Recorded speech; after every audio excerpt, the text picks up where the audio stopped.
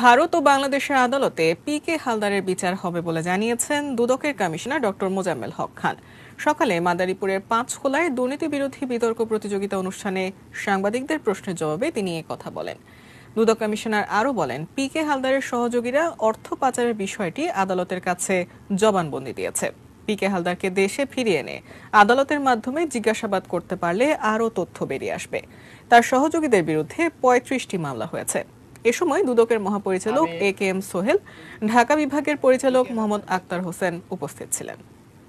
কোনো অপরাধেও সংযুক্ত থাকতে পারে সেই জন্য তাদের আদালতেও তার বিচার হবে এবং যেহেতু সে বাংলাদেশের নাগরিক বাংলাদেশের অর্থ পাচারের সাথে সে জড়িত এবং অর্থ পাচারের এই যে বিরাট কর্মকাণ্ড দুষ্কর্ম সেটি সে মহানায়ক বলা যেতে পারে এবং যারা এই ধরনের অপকর্মে জড়িত তাদের জন্য এটি একটি শিক্ষা হবে।